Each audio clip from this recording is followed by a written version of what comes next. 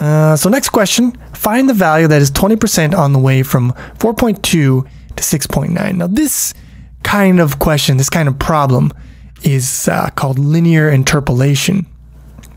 We've got two values and we want to find some value that is intermediate between them, taking into account these relative values and the relative position that we're trying to find.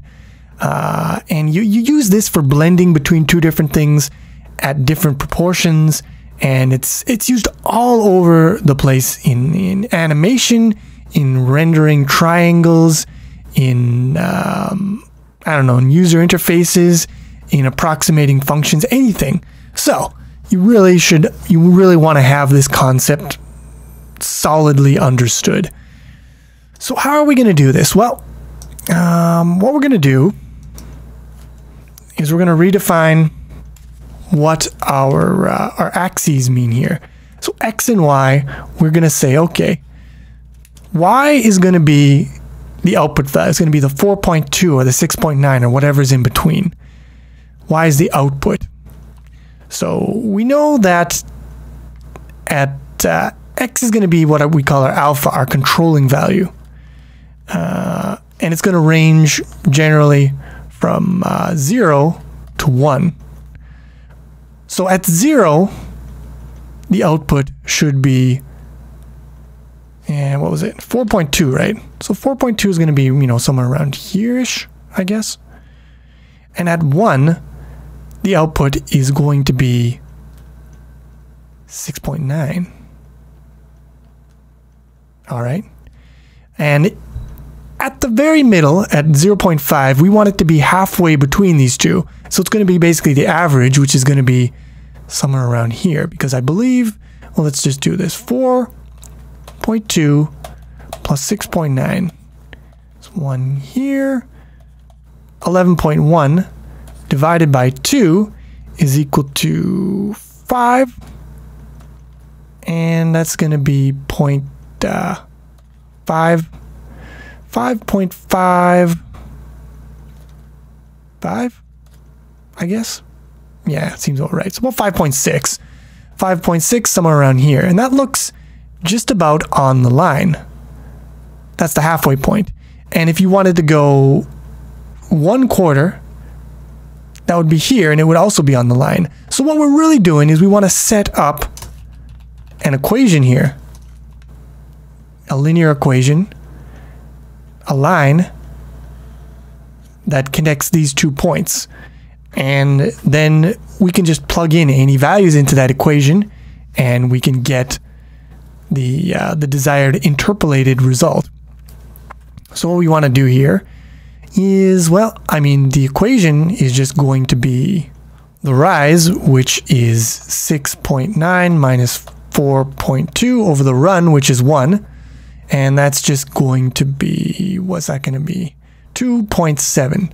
So 2.7 x plus the uh,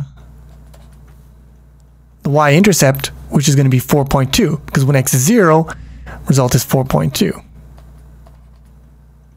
And there you go. You have your equation for linear interpolation. And then if we substitute in here 0.2, which is 20%, plus 4.2, we will get the result, which is apparently 4.74. And there you go. Uh, so that's basically the concept of linear interpolation. You've got two data points. You create a line equation from those, and then you can then take values that are in between, x values in between those two points, and you can find interpolations of those two data points, those two values. And if you notice here, the uh, the calculation of the slope, it's always going to divide by one. So the slope is always going to be uh, data point, the value 2 minus value 1. So this result times x plus value 1.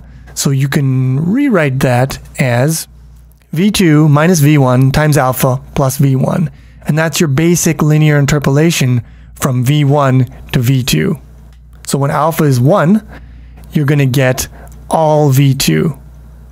And when alpha is 0, you're going to get all V1 because 0 times this cancels out, you just get V1. So, there you go. There's your linear interpolation. Now, the next question is very similar, only instead of interpolating between two values, now we're interpolating between two points. And you might be tempted to try to approach this a different way. Uh, 6, 9 4, 20. So what you might be, you might try to start off doing, you might plot one point at 6, 9, and then another one at 4.20, which is going to be, you know, like way up here. And then you know draw this line and like ah, I don't know what I'm doing. But that's not really what you should be doing right?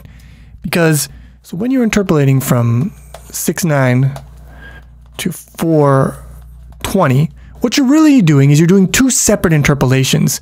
You're doing one interpolation in the x from 6 to 4 and you're doing another interpolation in the y from 9 to 20 that's what you're doing. So you want to just apply the exact same technique that you used before, but apply it creating two different equations, one for the x, one for the y. So your x is going to be, uh, well, let's see, you're going from 6 to 4. So that's 4 minus 6, which is negative 2. We'll just call it uh, alpha.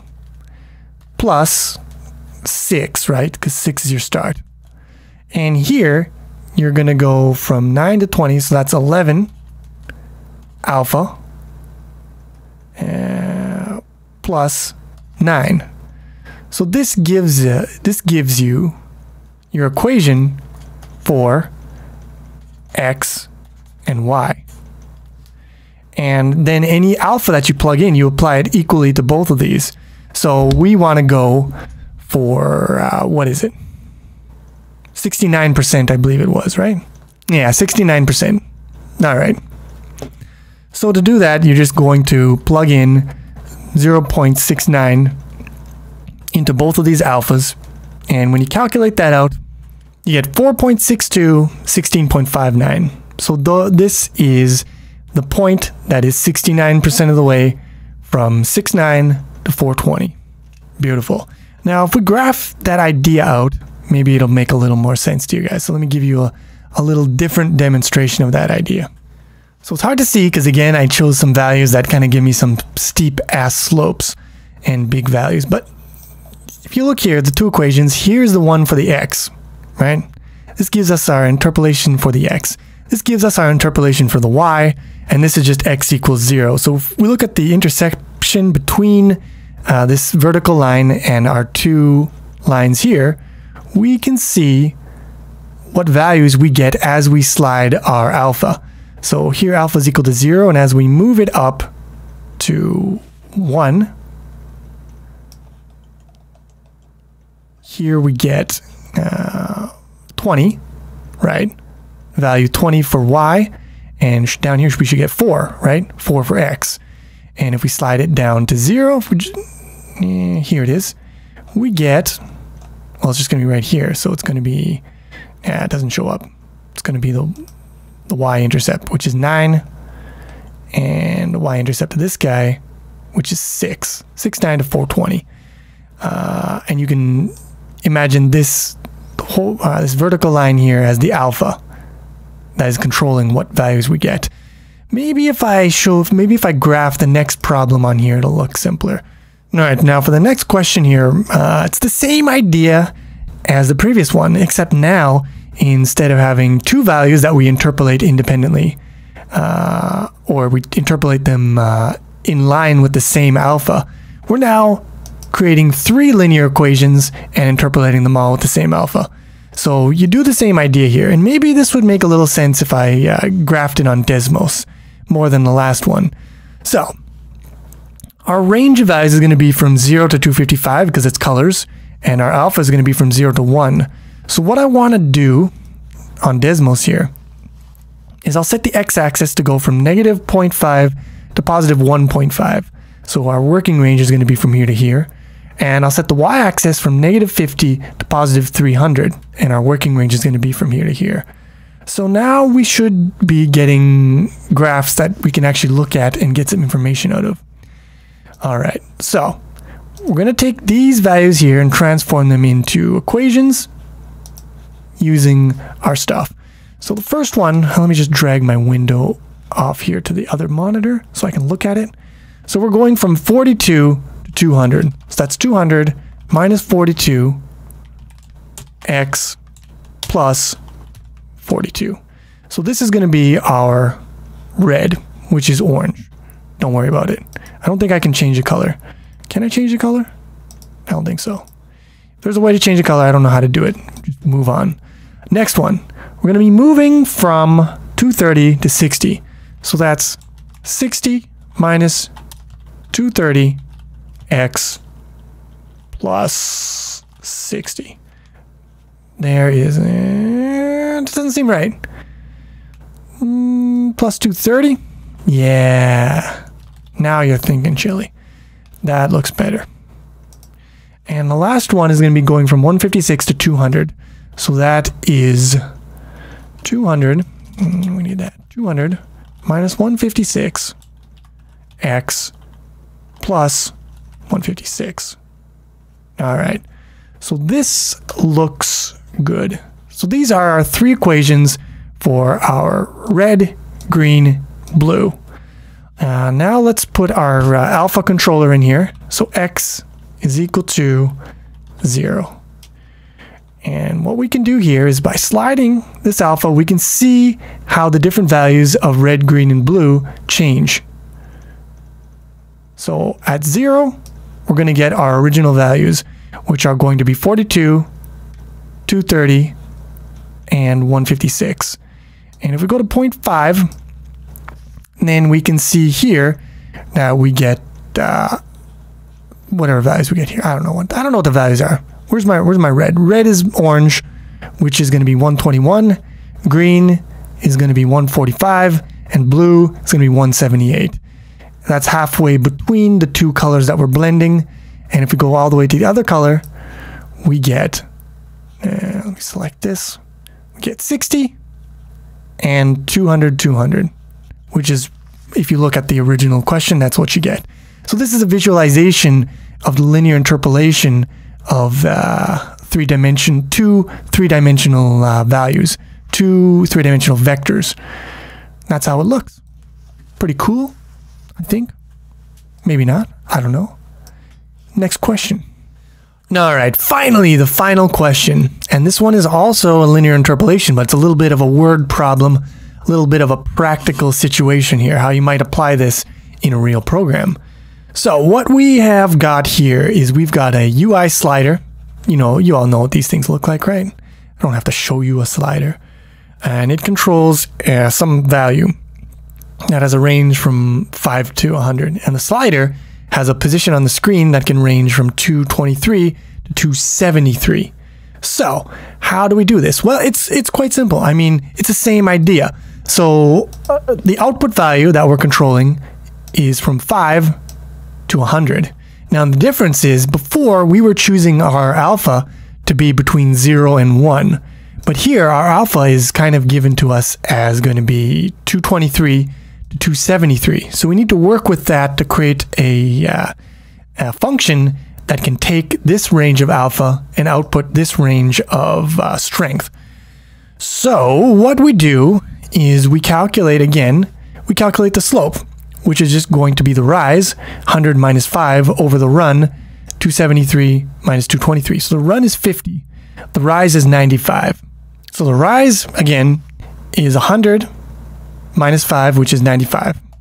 And the run was, I believe, 50. So that is our slope times x plus b is equal to our uh, strength. Now, normally b would just be your start value 5, but that's if your alpha is ranging from 0 to 1. But our alpha isn't starting at 0. So that means that we can't just automatically take 5 and plug it in here. So what is what is the B? Well, all we got to do is plug one point on the line into here and solve for that. So we know that, um, let's see here. So at 95, 50, when we are at 223, the strength is 5. So let's take that. 223 plus B is equal to 5. And then we just subtract 5 and subtract b. No, we can subtract this stuff from both sides.